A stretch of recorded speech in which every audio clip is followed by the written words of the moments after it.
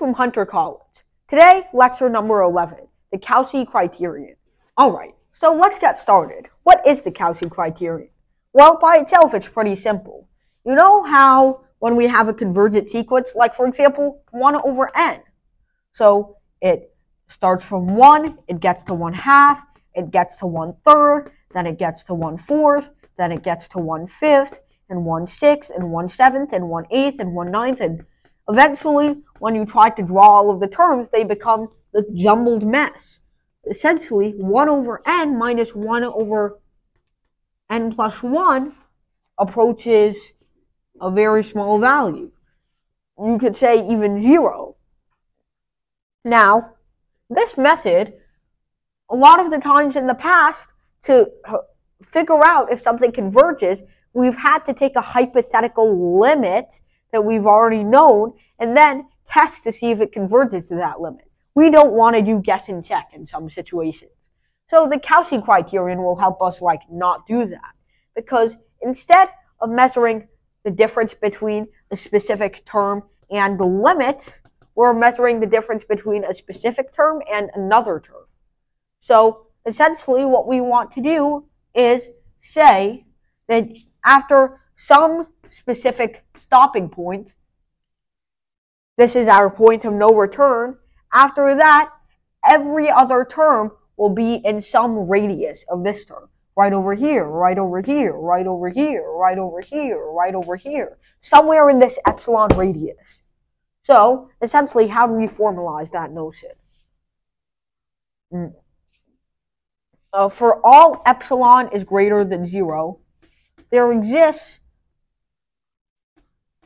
a natural number, capital N, such that for all mn, which are greater than or equal to n, am minus an is within this epsilon neighborhood, or in other words, less than epsilon. This is very, very important. So now, this is, and you probably trust me on this, an alternate definition for convergence. But how do we know that? We proved so many theorems using convergence. So can we prove that the Cauchy criterion is equivalent to convergence? Well, here's what we're going to do. So first, we're going to prove a lemma to help us do this. So this lemma is that every Cauchy sequence is implied to be bounded. It has an upper bound and a lower bound. And how can we find that out? Well, pretty simple. M, the upper bound is just the maximum of is just greater than or equal to the maximum of a0, a1, a2, a3, dot, dot, dot, until we get a n minus 1, and then our point of no return plus epsilon. Why is this true? Well, because once we get into the zone of no return, around an plus or minus epsilon, if every single term before that was less than an, so like an minus 1 wasn't here or anything, which it very well could be, then we have to take an plus e as the upper bound of the sequence, of course, because there are still a bunch of other little fellas that could write it a b in here. And we don't want to have to account for those, so accounting for a finite amount of numbers allows us to actually take the maximum of all of them. And of course, if we want the lower bound, we just change this max to a min or and we want to also change this to a minus epsilon. Every single number was greater than it. But I think you guys can see that. Here's what we're going to prove. Every Cauchy sequence converges. and every convergent sequence is a Cauchy sequence. So essentially, we're going to replace convergence. That doesn't mean our little buddy epsilon will be gone, though. He'll still be there in some of our proofs, but we're going to see him a little bit less. So, something is a Cauchy sequence if and only if it is convergent. And you know what that means. There were two proof directions and a sufficient proof.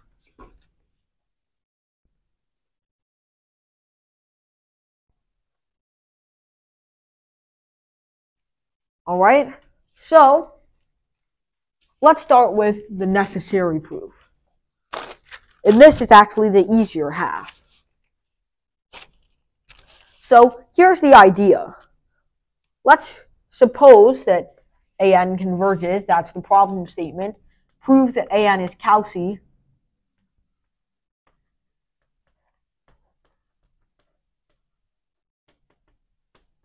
That's our goal. So,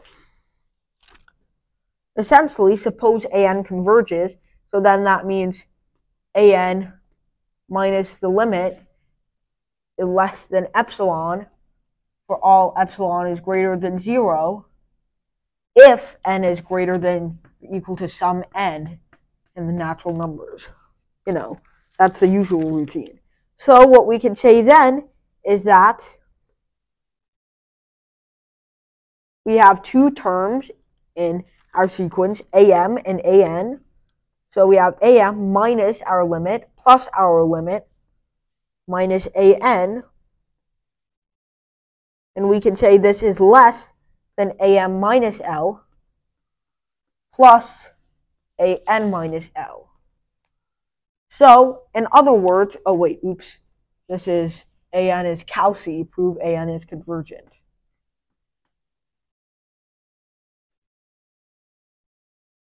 Wait, where is it? No, it's AN is convergent, proof. AN is Cauchy. Oops. Sorry. Maybe you should cut that part out. Yeah. Okay. So we're back in the game.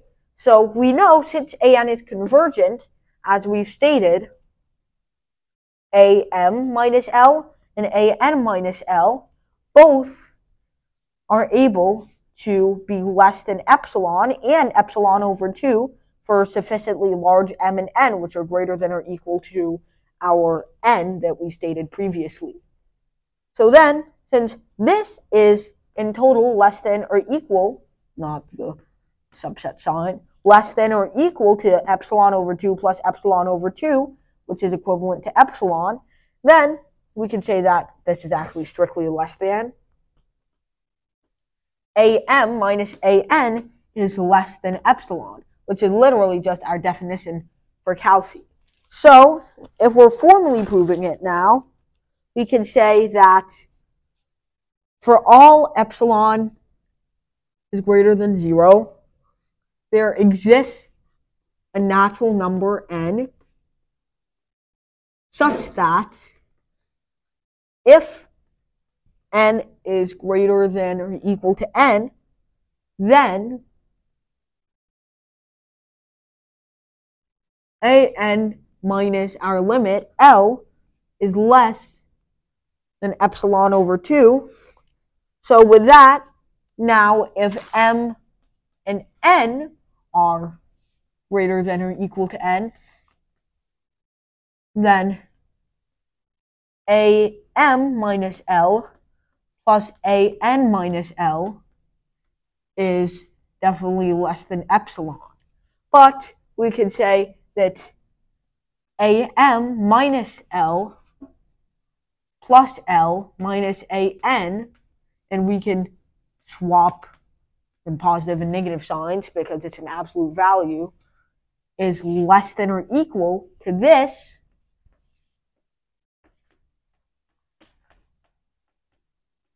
which is less than this.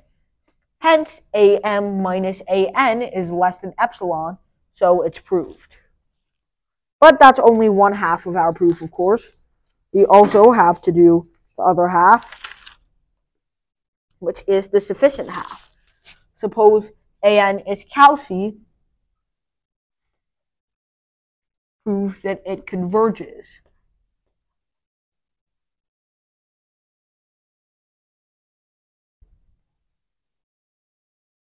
Let me switch chalks because this one is getting low. So let me see if this one works. Yeah, it works fine, but not as juicy. So, Baby, use this one, this one here. Oh. okay. So, suppose AN is Cauchy.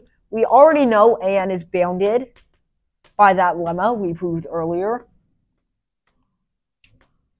So, by the Bolzano-Weierstrass theorem that we learned yesterday, AN has a converted subsequence since it's bounded.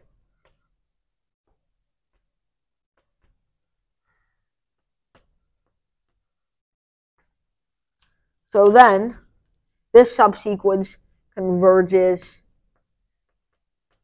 to L. Now we're going to show that we already know if AN converges, every single subsequence of it also converges to the same exact limit.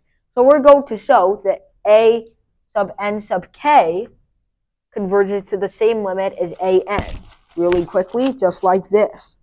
So we know since it's Cauchy, there's already an AN which is greater than or equal to n, and we have ANK which is also greater than or equal to n.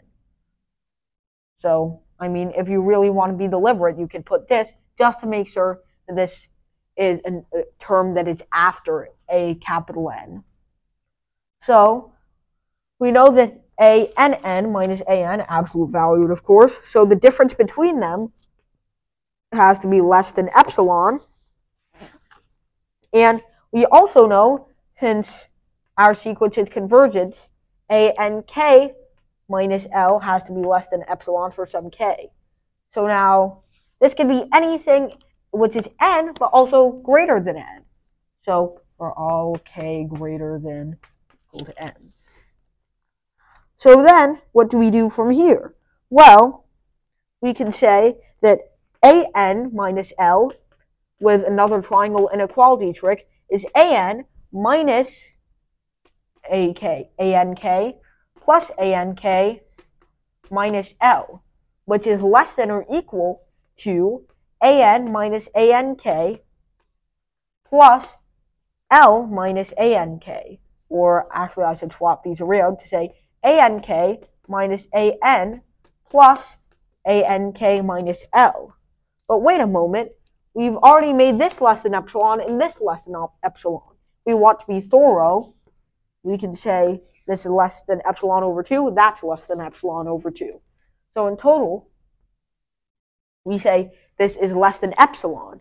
So then, since an minus l is less than epsilon, that's our definition of convergence proved.